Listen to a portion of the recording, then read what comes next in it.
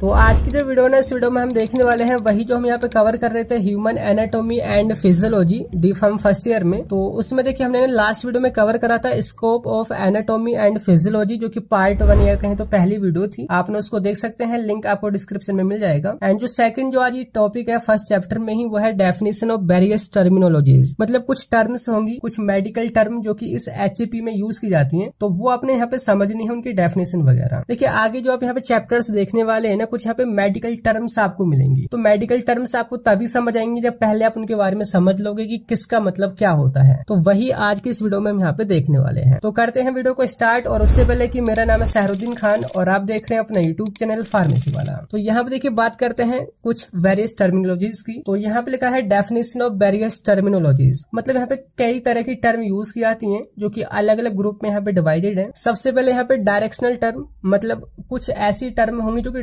Direction के लिए use होंगी। जैसे हम यूज़ करते हैं ना, जैसे कि सीधे हाथ के लिए, यानी कि राइट लेफ़्ट अप डाउन ये हम टर्म यूज़ करते हैं ना किसी को इंडिकेट करने के लिए या किसी की दिशा बताने के लिए। तो ऐसे ही अगर आप यहाँ पे एच पढ़ रहे हैं तो एच में दिशा बताने के लिए ना कुछ अलग टर्म यूज़ होंगे। तो ये हम देखेंगे।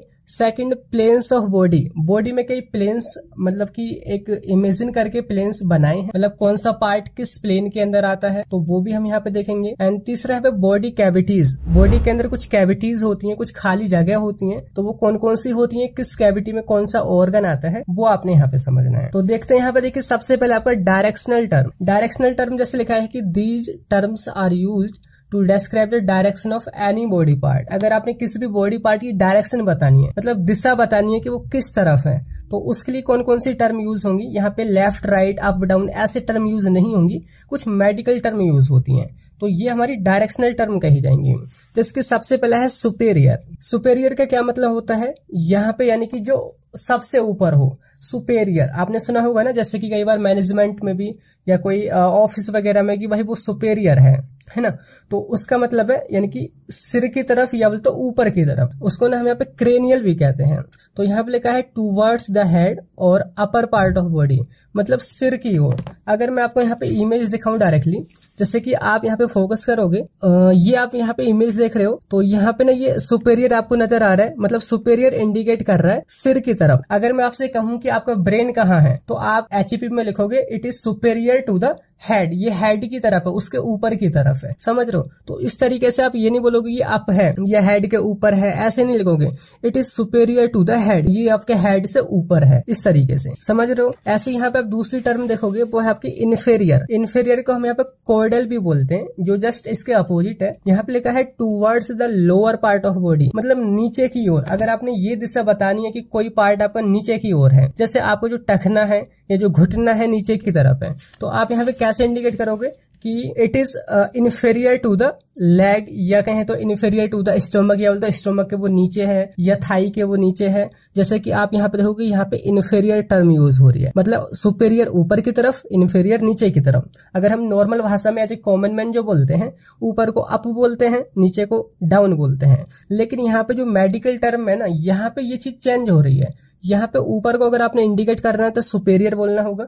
नीचे को किसी चीज़ को इंडिकेट करना है, दिशा दिखानी है, दिशा आपने बतानी है तो इन्फेरियर वर्ड यूज़ करना होगा। समझ रहे हो? इस तरीके से आपने इनको याद करना है। एंड इससे देखिए आगे बढ़ने से पहले मैं आपको बता दूँ कि यहाँ पे जो ये सारे लेक्चर्स आगे आपके आने वाले हैं, और ये जो सारे टॉपिक्स यहाँ पे दिए हुए हैं आपके पूरे सिलेबस में तो उनको ना हमने ऑलरेडी कवर कर रखा है। अपने हमारे बैच में जाकर के ज्वाइन हो सकते हैं फार्मेसी वाले ऐप को डाउनलोड करके।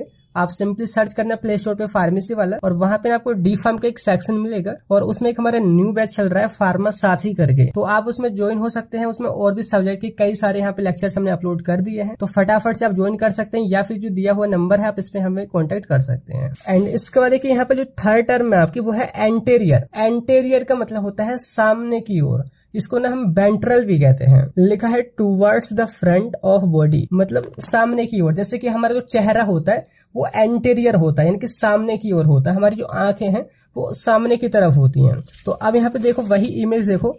यहाँ पे जो ये हिस्सा है, देखो, इसको डिवाइड कर दिया है। अब अब इसको हम लेफ़्ट या राइट नहीं बोलेंगे। अगर ये सामने की तरफ़ है आपके चेहरे की तरफ़ है आपके आ, सामने फ्रंट की तरफ़ है तो इसको हम बोलेंगे यहाँ पे एंटेरियर ठीक है? एंड जस्ट ये अपोजिट है पीछे की तरफ़ तो उसको हम बोलते हैं यहाँ पे पोस्टेरियर समझ रहे हो? तो यहाँ पे हम क्या दे रहे हैं? टर्म दे रहे हैं कुछ मेडिकल टर्म जो की दिशा को बता रही है। ऊपर को बताने के लिए सुपेरियर नीचे को बताने के लिए इन्फेरियर और सामने के लिए अगर इंडिकेट कर रहे हो कि भाई आपके वो चीज़ सामने है मतलब आप मेरे सामने खड़े हो तो मैं ये बोल सकता हूँ you are anterior to me है ना? मेरे सामने खड़े हैं आप। अगर आप मेरे पीछे खड़े हैं मतलब पोस्टेरियर आप मेरे पीछे खड़े हैं, समझ रहे हो?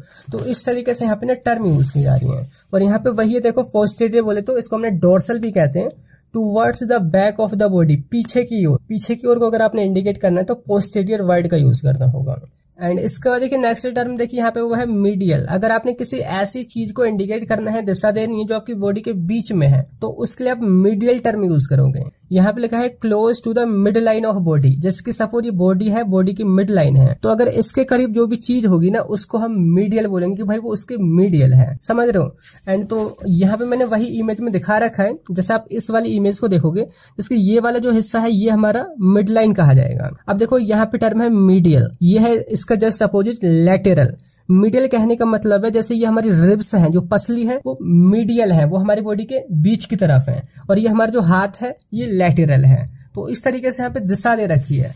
लेटेरल का मतलब जस्ट अपोजिट हो जाएगा, यानी कि far from the mid line of the body इस मिड लाइन से दूर की तरफ़, उससे फार उसको हम बोलेंगे लेटेरल और इसके जो क्लोज होगा, देखो यहाँ पे एरो यानी कि इसके क्लोज है। अगर मिड लाइन की क्लोज है तो उसको हम मीडियल बोलेंगे। अगर यहाँ पे दूसरी तरफ़ आप देखोगे, यहाँ पे ये जो आप देखोगे तो ये जो है दूर है फार है मिड लाइन तो इसको हम यहाँ पे लेटेरल बोलेंगे। समझ आया? एंड इसके बाद देखिए नेक्स्ट टर्म वो है प्रोक्सिमल प्रोक्सिमल का मतलब होता है क्लोज टू द ट्रंक यानी कि सेंट्रल पार्ट ऑफ़ बॉडी जैसे कि ये जो इतना जो हिस्सा होता है ये आपका, ये सेंट्रल पार्ट कहा जाता है। अगर कोई भी चीज़ इसके करीब है तो उसको हम प्रोक्सिमल बोलेंगे। जैसे यहाँ पे दिखा रखा है, ये जो थाई है, ये प्रोक्सिमल है किसके? इस वाले पार्ट के। लेकिन ये जो आपका नीचे वाला जो पैर है, या बोले इसका जो अंगूठा वगैरह है तो ये इसके डिस्टल है। तो डिस्टल इसके अपोजिट है। डिस्टल का मतलब होता है फार फ्रॉम द ट्रंक यानी कि सेंट्रल पार्ट ऑफ़ बॉडी कहने का मतलब है यहाँ पे दो दो जोड़े बने पड़े पेयर है। जैसे की एक यहाँ पे था सुपेरियर तो जस्ट उल्टा था इन्फेरियर एक था एंटेरियर सामने के लिए, एक था पोस्टेरियर पीछे के लिए, एक था मीडियल बीच के लिए,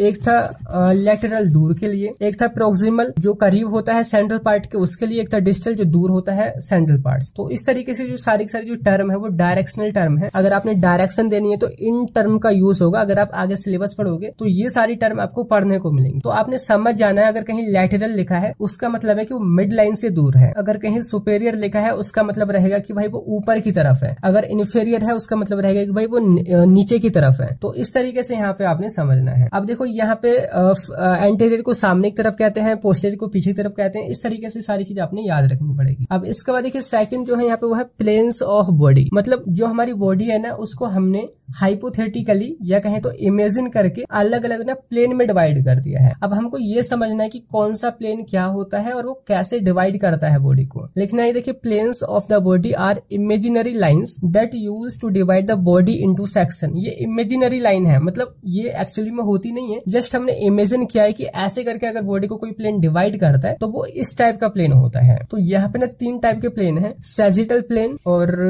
दूसरा यहाँ पे देखिए फ्रंटल या कहें तो कोरोनल प्लेन एंड तीसरा यहाँ पे ट्रांसवर्स या कहें तो हॉरिजॉन्टल प्लेन अगर मैं आपको इमेज दिखाऊँ ना, उससे आपको डायरेक्ट क्लियर हो जाएगा। जिसकी पहला है ये सेजिटल प्लेन जो कि आपको यहाँ पे पिंक कलर में नज़र आ रहा है। आप अगर देखोगे ये वाला पार्ट आपको दिख रहा है तो ये हमारी बॉडी को ना लेफ़्ट और राइट दो पार्ट में डिवाइड करता है। तो वो प्लेन जो हमारी बॉडी को लेफ़्ट एंड राइट दो अलग अलग हाफ़ दो पार्ट में डिवाइड करता है, उसको हम यहाँ पे सेजिटल प्लेन कहते हैं। समझ आ रहा है इमेज से ही? दूसरा हमारे पे कोरोनल प्लेन ये ब्लू कलर में जो आपको दिख रहा है कोरोनल प्लेन है, जो हमारी बॉडी को फ्रंट और बैक दो पार्ट में डिवाइड करता है। नज़र आ रहा है सामने तो ऐसा प्लेन जो हमारी बॉडी को फ्रंट एंड बैक दो अलग अलग हाफ़ पार्ट में डिवाइड करता है, वो कोरोनल प्लेन है। एक हमारे ट्रांसवर्स प्लेन ये बीच से कट कर रहा है, जो हमारी बॉडी को अप एंड डाउन या कहें तो सुपेरियर और इन्फेरियर दो पार्ट में डिवाइड करता है, उसको हम यहाँ पे ट्रांसवर्स प्लेन कहते हैं। बस यही इनकी डेफिनेशन है, जो यहाँ पे मैंने सिंपल तरीके से लिख रखी है। जैसे आप पहला पढ़ोगे, जो सेजिटल था, वो लेफ़्ट एंड राइट में डिवाइड करता था तो लिखा है कि it divides the body into left and right part clear उसको हम बोलते हैं सेजिटल प्लेन प्लेन दूसरा यहाँ पे हमारा फ्रंटल या कहें तो कोरोनल प्लेन तो लिखा है it divides the body into front and back part जो आपको दिख रहा है ब्लू कलर वाला। ये ब्लू कलर वाला फ्रंट और बैक में डिवाइड कर रहा है। एक हमारा ट्रांसवर्स या कहें तो हॉरिजॉन्टल प्लेन ये हमारी बॉडी को ऊपर या कहें तो नीचे दो पार्ट में डिवाइड करता है, यानी कि सुपेरियर पार्ट जो ग्रीन कलर का ये आपको दिख रहा है, ये आधा हिस्सा ऊपर की तरफ़, आधा हिस्सा नीचे की तरफ़ तो इस तरीके से दो पार्ट में डिवाइड करता है। ये हमारा ट्रांसवर्स या हॉरिजॉन्टल प्लेन तो इन प्लेन्स की भी कुछ टर्म यूज़ होंगी। जब आप आगे पढ़ोगे, अगर किसी पर्टिकुलर ऑर्गन को बताया जाएगा तो वहाँ पे बताया जाएगा कि उसको इस तरीके से डिवाइड किया है या ऐसे उसको डिवाइड किया है तो ये चीज़ आपने ध्यान रखनी है, ठीक है? अब इसके बाद थर्ड जो आपने याद रखनी वो है बॉडीज बॉडी कैविटीज कैविटीज मतलब कुछ खाली जगह होती है बॉडी में जिसमें कोई पार्टिकुलर ऑर्गन रहता है। तो यहाँ पे लिखा है body cavities are hollow space यानी कि खाली जगह जो कि बॉडी के अंदर रहती है, जिसके अंदर कोई ऑर्गन रहता है और जो इन कैविटीज की वजह से प्रोटेक्टेड रहता है, बचा हुआ रहता है। तो यहाँ पे कई सारी है, जैसे आप इमेज देखोगे ना, आप उनको समझ जाओगे। पहला यहाँ पे क्रेनियल कैविटी दूसरा है यहाँ पे स्पाइनल या कहें तो वर्टिब्रल कैविटी तीसरा यहाँ पे थोरेसिक कैविटी कैविटी एंड दो और यहाँ पे वो है abdominal cavity and pelvic cavity अब जैसे यहाँ पर इमेज देखोगे ना, ये जो हिस्सा है ब्रेन वाला ब्रेन के यहाँ पे भी एक खाली जगह होती है, जिसके अंदर पूरा हमारा स्कल स्कल वाली बोल सकते हैं, यानी कि जिसमें हमारा ब्रेन आता है।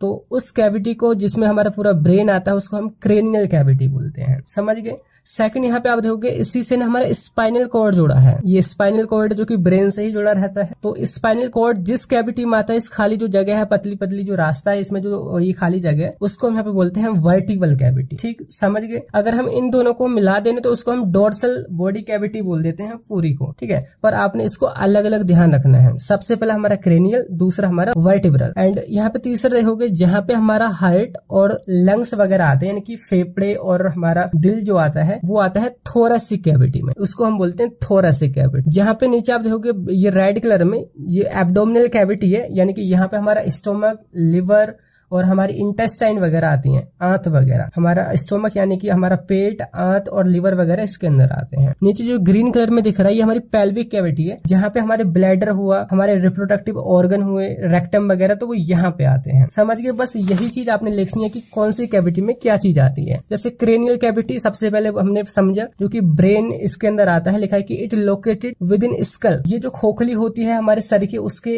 उसमें ये प्रेजेंट रहती है, इसके अंदर ब्रेन रहता है। समझ गए? ये है हमारी क्रेनियल क्रेनियल कैविटी ओके अब सेकंड यहाँ पे हमारी स्पाइनल या vertebral cavity it contains the spinal cord इसके अंदर हमारा स्पाइनल कॉर्ड आता है, ये वाला जो पूरा जो है, ये हमारा स्पाइनल कॉर्ड आता है, ठीक है? थर्ड है हमारा थोरेसिक कैविटी लिखा है it contains the heart and lungs यानी कि चेस्ट एरिया होता है, ये हमारा, इसमें पूरा हार्ट एंड लंग्स वगैरह इसी कैविटी के अंदर आते हैं। नेक्स्ट हमारी abdominal cavity it contains the stomach intestine liver and kidney ठीक है? यानी कि ये जो आपको रेड कलर में दिख रहा है, इसी में हमारा पेट हुआ, हमारा लिवर हुआ, यानी कि यकर एंड हमारे किडनी वगैरह, और इसके अलावा हमारी इंटेस्टाइन यानी कि आंत भी इसी के अंदर आती है। तो ये हमारी एब्डोमिनल कैविटी है। लास्ट में हमारे यहाँ पे ये ग्रीनिश कलर में पेल्विस कैविटी तो यहाँ पे जो है हमारा ब्लैडर आता है रिप्रोडक्टिव ऑर्गन आते हैं, जो मेल फीमेल में अलग अलग होते हैं लास्ट में हमारा रेक्टम भी इसी के अंदर आता है। तो इस तरीके से ये हमारी सारी टर्म्स थी जो कि हमने तीनों टाइप्स टर्म यहाँ पे हमने कवर करी है। जैसे ये वाला टॉपिक हमारे कंप्लीट हो जाता है डेफिनेशन ऑफ़ वेरियस टर्मिनोलॉजीज तो यही था आज की वीडियो में फिर मिलते हैं किसी नेक्स्ट वीडियो में। तब तक के लिए bye bye thank you have a nice day